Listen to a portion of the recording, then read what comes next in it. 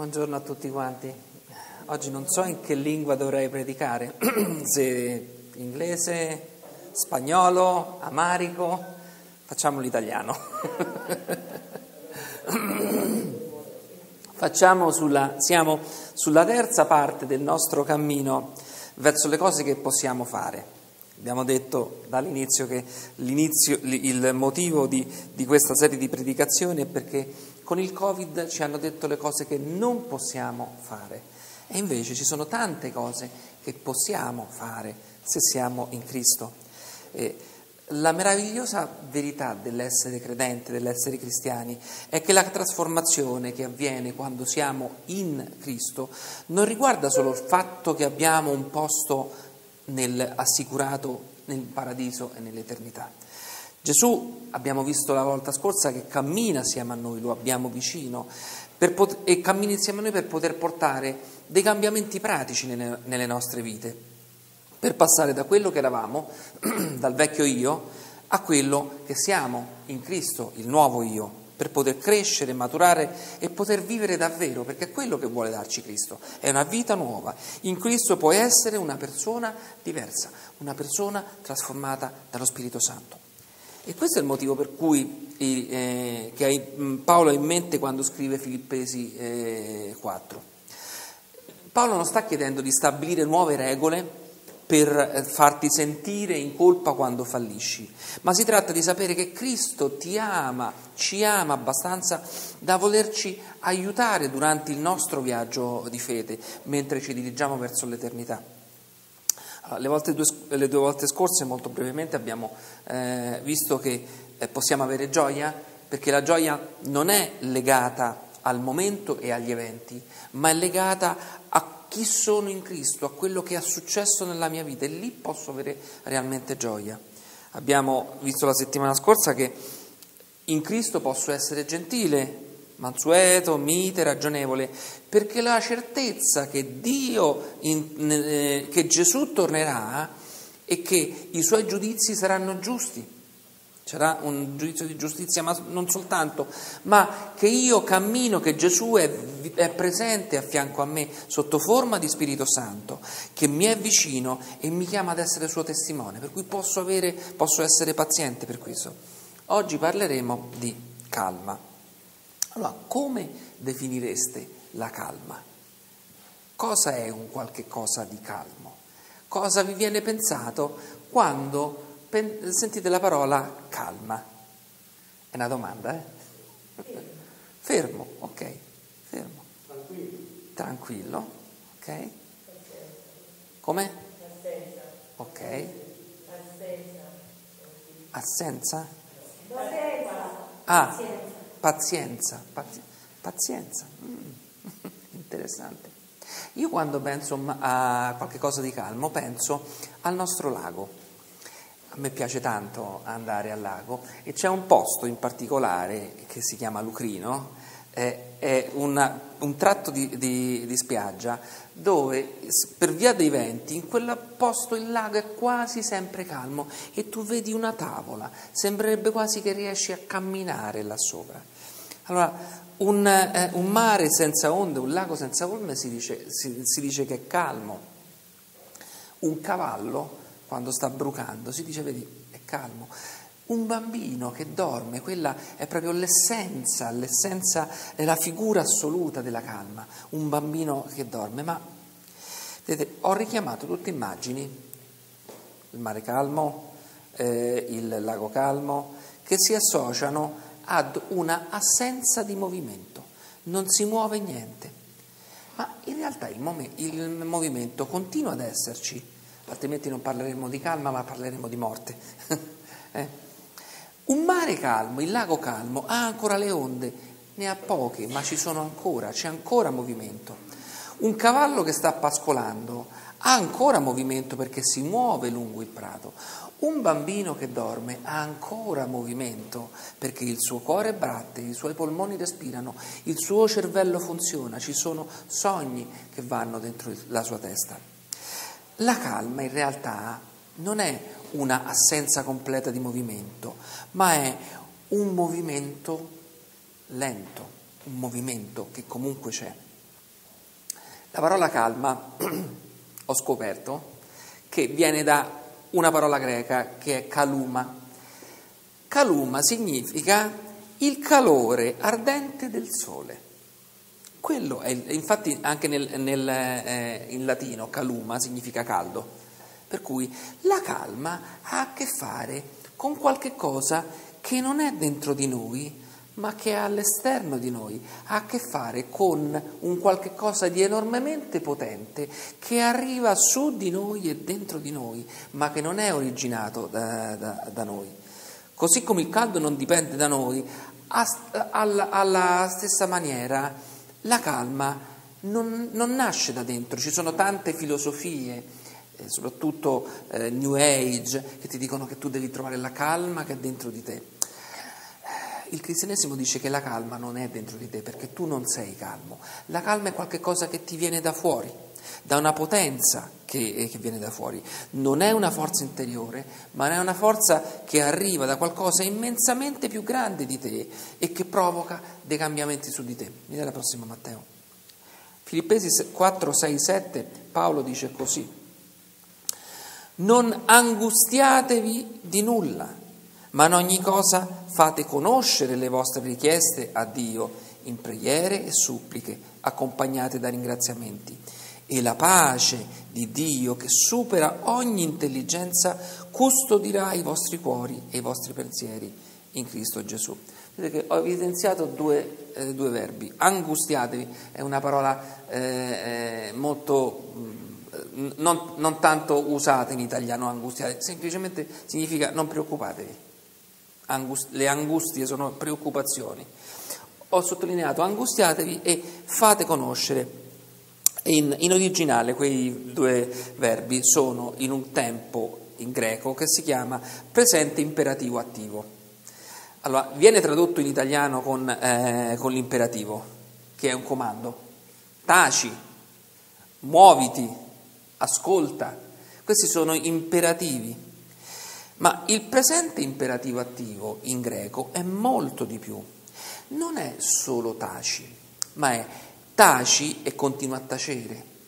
Non è muoviti, ma muoviti e continua a muoverti. Non è ascolta, ma è ascolta e continua ad ascoltare qualche cosa che devi fare adesso e devi proseguire in continuo a fare, non soltanto ascoltare adesso, ma ascoltare, continuare ad ascoltare.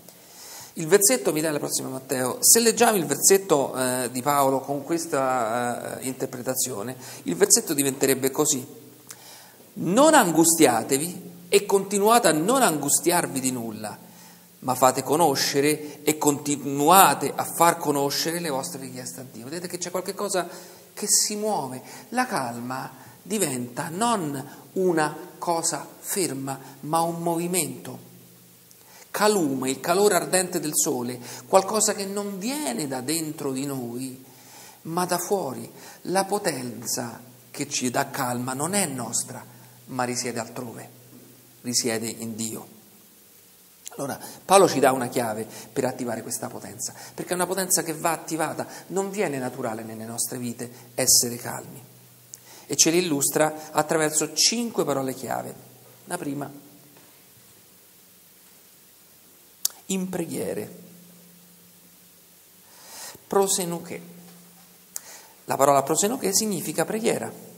Matteo 21, eh, 21, 22 dice così, Gesù rispose loro, io vi dico in verità, se aveste fede non, e non dubitaste, non soltanto fareste quello che è stato fatto al fico, ma se anche diceste questo a questo monte, togliti di là e gettati nel mare, sarebbe fatto. Tutte le cose che domanderete in preghiera, prosenuche, se avete fede le otterrete. Il tipo di preghiera che dice Paolo è una preghiera, è la stessa preghiera, è la preghiera prosenuche che chiede Gesù. Dove preghi che cosa? Cose normali? Signore, eh, fa, eh, da, dammi un posto di lavoro, sì, vabbè, quello è possibile. Gesù ti dice di pregare cose che sono al di là della comune possibilità e del comune eh, pensiero. Sposta questo monte. Lui aveva fatto seccare un fico, vi ricordate l'episodio? Aveva maledetto il fico perché non, non, non, dava frutti. E lui dice, guardate, voi potete pregare non soltanto per le cose che sono fattibili, ma le, per le cose che sono impossibili, come un monte che si sposti e si getti in mare. Matteo prossima. Luca 22, 45. E dopo aver pregato, prosenuche, si alzò andò dai discepoli e li trovò addormentati per la tristezza.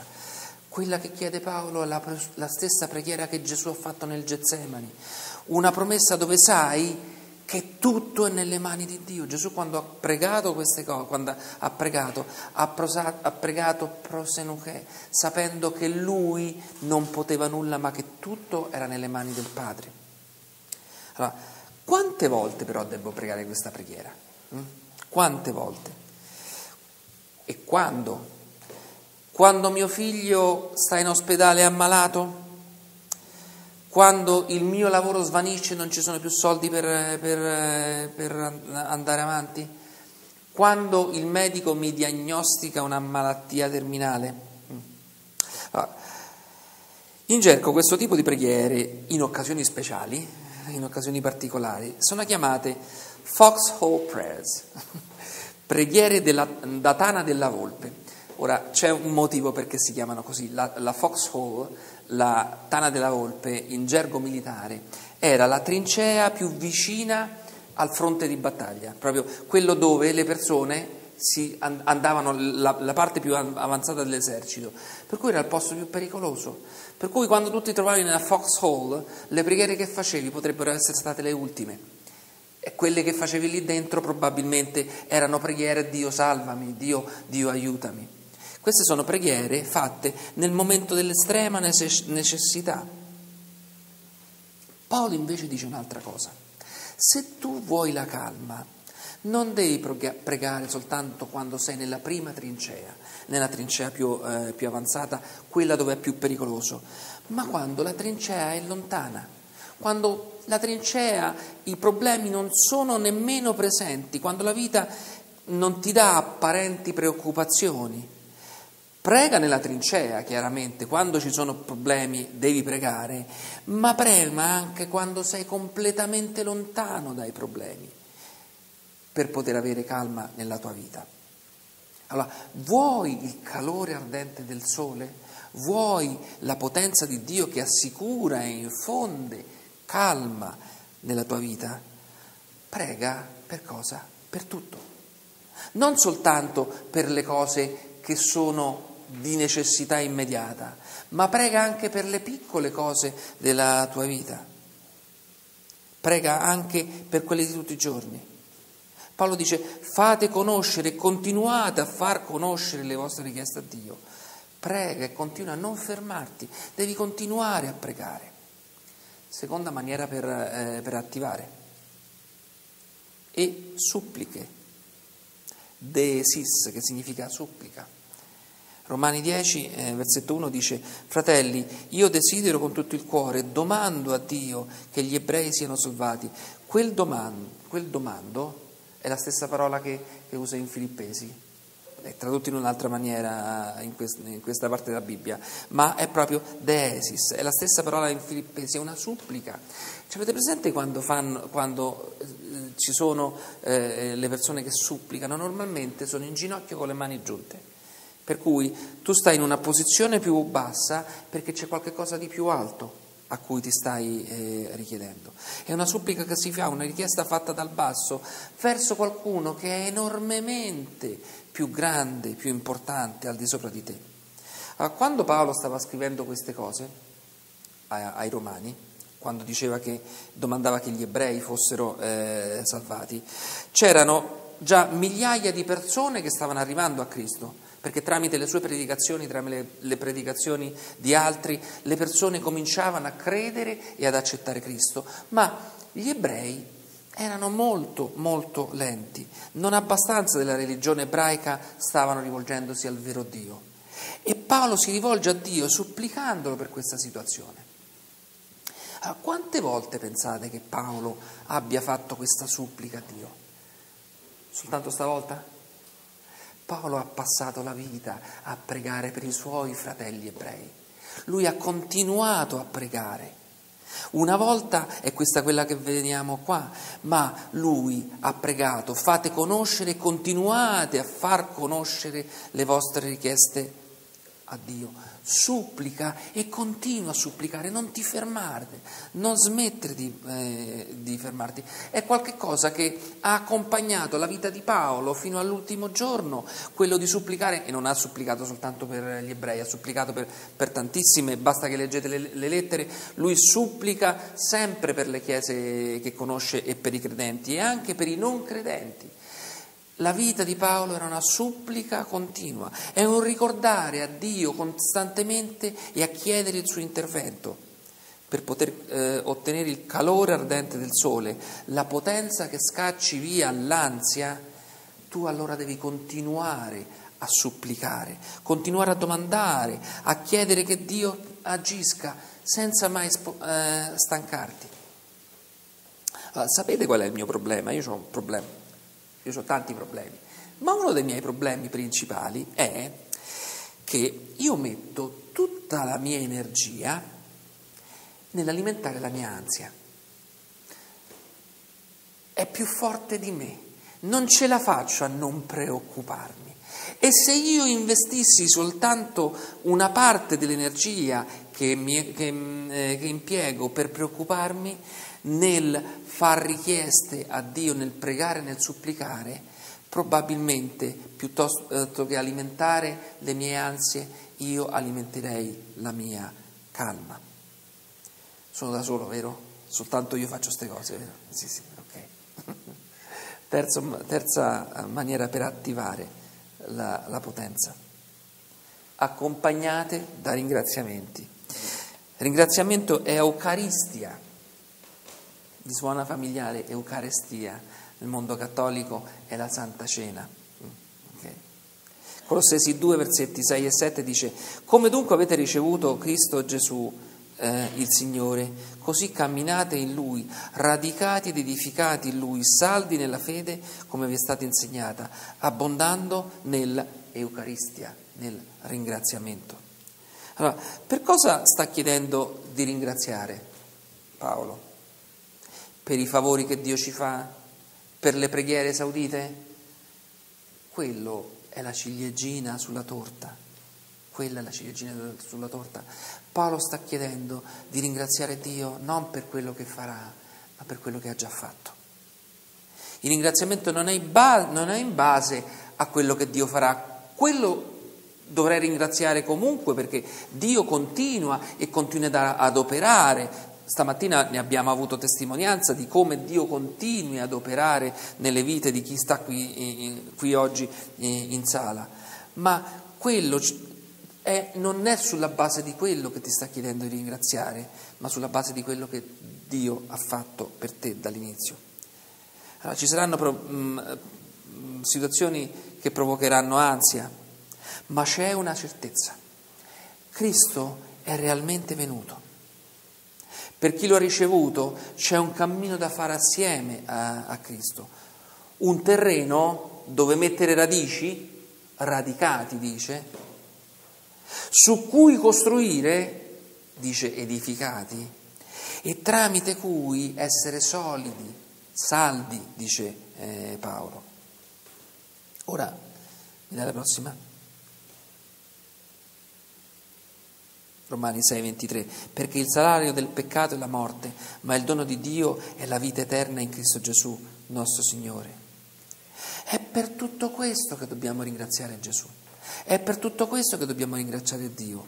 Il peccato è sconfitto, la morte è sconfitta, l'ansia che viene dal peccato e dalla malattia e dalla morte, alla fine è insignificante, perché Gesù ha già vinto per noi perché noi siamo convinti, siamo certi di essere con Lui se siamo in Cristo. E dobbiamo continu- eh, ringraziare e continuare a ringraziare, non è che dobbiamo aver ringraziato soltanto il giorno che ci siamo battezzati, grazie Signore, basta, noi dobbiamo, dobbiamo continuare a dire ogni mattina che ci svegliamo, Signore, grazie che mi hai salvato, grazie che mi hai perdonato, grazie che mi dai un posto assieme a te in cielo. Allora se vogliamo avere questa potenza che scaccia l'ansia, non possiamo fare a meno della preghiera, della supplica e del ringraziamento. Paolo ci dice metteteli insieme quando siete ansiosi e imparerete a pregare in modo da poter essere meno ansiosi. Ma non fatelo una volta sola, una volta e via, continuate a farlo costantemente. Deve diventare parte della vostra routine quotidiana, del vostro DNA di credenti. Continuate a pregare, a ringraziare e a chiedere. Ci saranno ancora problemi, eh? non è che non ci saranno, continueranno ad esserci problemi. Ci saranno ancora lutti, ci saranno perdite di persone care, ci saranno momenti in cui ci troveremo disperati, ma la potenza, quel calore arriverà. E la prossima? E la pace di Dio. Pace è, in greco, è eirene. La parola in, gra- in greco è questa. Esiste una Bibbia che si chiama Septuaginta, non, è, non vi voglio fare un, un, un, lezioni di storia, è una, è una, Bibbia che fu tradotta in greco per far capire, a, per far leggere ai neocredenti l'Antico Testamento, perché l'Antico Testamento era scritto in ebraico e aramaico e, e, e in pratica tradussero questa, eh, l'Antico Testamento dal, da Genesi a Malachia, lo tradussero in greco. Allora, la parola Eirene, pace, era, era la traduzione di una parola ebraica che tutti quanti conosciamo, Shalom. Lo diciamo anche noi qualche volta come, come Vangeli, Shalom, pace. Shalom. Penso una parola molto bella. Però vedete, non è soltanto pace, la, la, parola shalom è un concetto filosofico che va ben oltre il fatto di dire pace. È la pace che viene nonostante le circostanze che accadono, è indipendente da quello che stai vivendo. Puoi avere shalom quando tuo figlio è in ospedale e sta per morire Puoi avere shalom quando c'è una diagnosi di tumore. Puoi avere shalom quando hai perso il lavoro. È una pace che non viene dall'esterno, ma una pace spirituale. Una pace in cui niente può distruggere la tua fede. Una pace in cui la mia mente è al sicuro e ho la pienezza di vita. È una pace che supera ogni intelligenza iperecò, iperecò, supera. Sapete, questa eh, frase, mi dai la prossima Matteo? Iperecò, qui è tradotto supera, ma in questo versetto di Romani 13, versetto 1, ogni persona sia sottomessa, iperecò, alle autorità, alle autorità superiori. Allora, Paolo sta dicendo, devi lasciare che la pace di Dio sia sottomessa alla tua, sia, che la tua intelligenza sia sottomessa alla pace di Dio. La tua comprensione del mondo deve essere sottomessa alla pace di Dio. Ti chiede di non fidarti di ciò che stai pensando, perché purtroppo quando siamo emozionati, quando siamo eh, ansiosi, pensiamo cose che vanno al di là della realtà Dio ti chiede di non fidarti di quello che la tua mente pensi, ma di affidarti alla pace shalom, quella di Dio, quella che supera qualsiasi cosa. Paolo afferma questo in Corinzi. 2 Corinzi 10, versetti da 3 a 5. In realtà, sebbene viviamo nella carne, non combattiamo secondo la carne Infatti le armi della nostra guerra non sono carnali, ma hanno da Dio il potere di distruggere le fortezze, poiché demoliamo i ragionamenti e tutto ciò che si eleva orgogliosamente contro la conoscenza di Dio, facendo prigioniero ogni pensiero fino a renderlo ubbidiente a Cristo, facendolo prigioniero. Il senso di insicurezza, la mancanza di speranza, gli strumenti di Satana per farci dubitare che, che Dio si curi di noi, che ci voglia bene e che ci ami. Tutto questo, la pace shalom, li supera tutti quanti. Ma sta a noi, come dice Paolo, far prigioniero ogni pensiero, farli prigionieri, piegarli fino a renderli obbedienti a Cristo. Intendiamoci, i problemi rimarranno nella tua vita, eh? rimarranno, ma la pace di Dio che, su, che alla fine supererà, la pace shalom supererà questi problemi. Ultimo maniera di attivare custodirà i vostri cuori e i vostri pensieri in Cristo Gesù.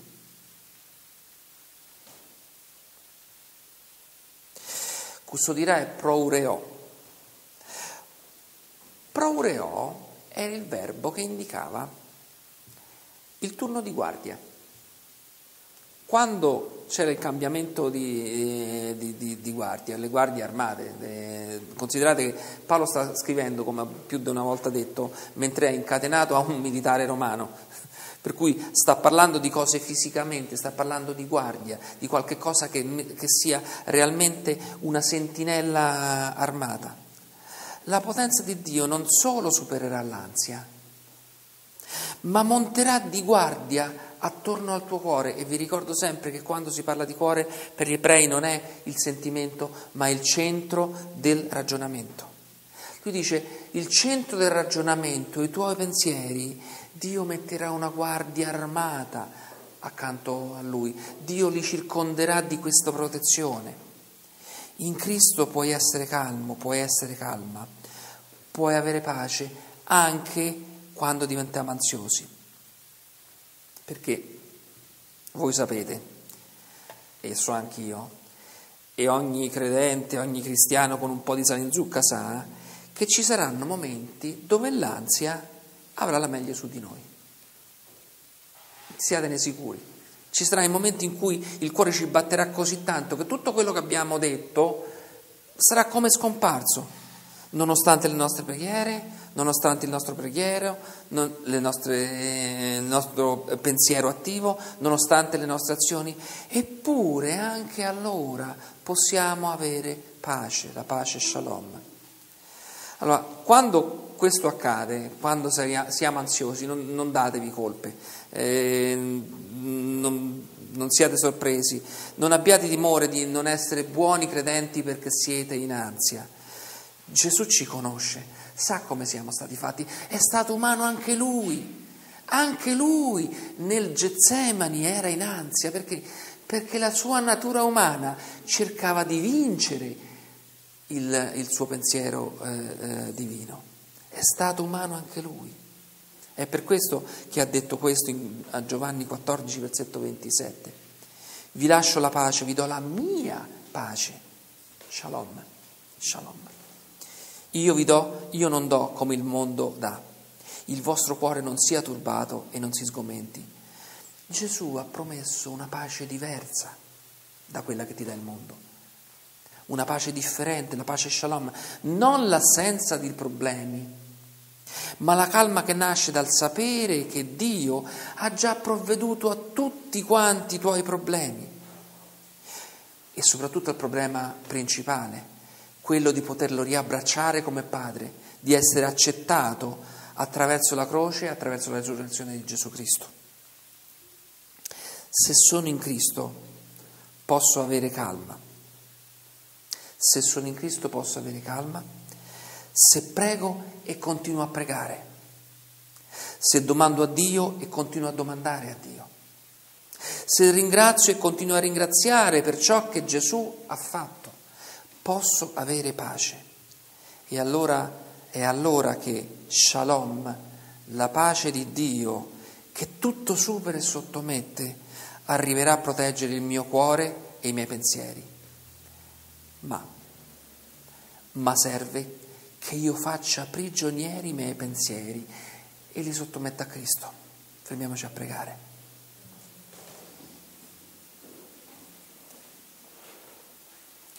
Grazie Padre, perché tu dai la pace shalom, perché tu sei la fonte della pace.